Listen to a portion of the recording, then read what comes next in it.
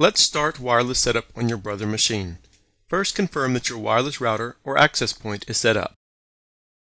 Find out your SSID or the name of your wireless network and your wireless network key. You may have to ask your internet provider or network administrator. On your machine, press the settings icon. Press network. Press WLAN. Press setup wizard. When WLAN Enable is displayed, press Yes. This will start the wireless setup wizard. The machine will search for available SSIDs. A list of SSIDs are displayed. Press the up and down arrow to locate and choose your SSID and press OK. Press No to configure the wireless network manually. Enter the network key using the buttons on the touchscreen to choose each letter or number.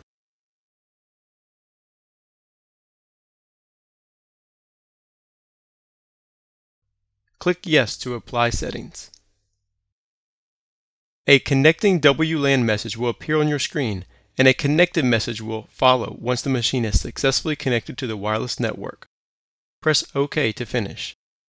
The wireless network setup is now complete. If connection fails is displayed, it is likely that the network key is incorrect. After you have received the connected message, you will now need to install the scanner using the installation disk. Choose your Brother scanner. Select your language.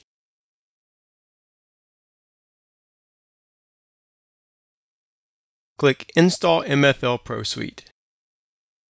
For the Paperport license agreement, click Yes.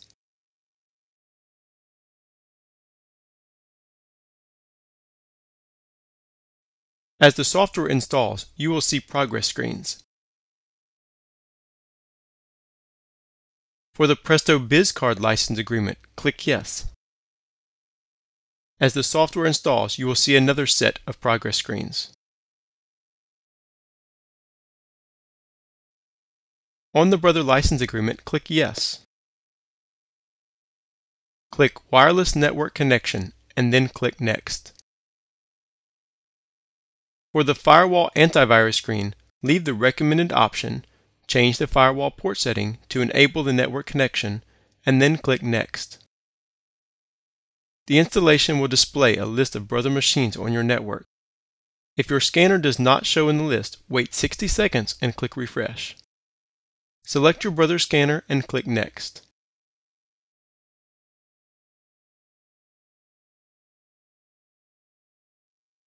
As the software installs, you will see progress screens.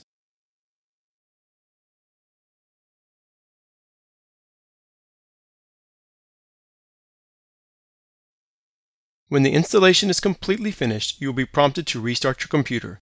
Choose Yes, I want to restart my computer now and click Finish. You have now successfully installed the scanner.